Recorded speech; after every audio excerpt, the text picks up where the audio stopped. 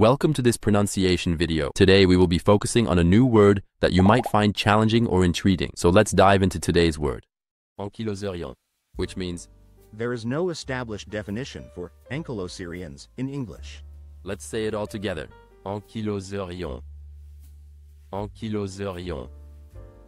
Ankyloserions. One more time. Ankyloserions. Ankyloserions. Ankyloserions. Thank you for joining us on this adventure in pronunciation. Remember, language is a journey, not a destination. Keep exploring, experimenting, and expanding your linguistic horizons. We'll see you next time.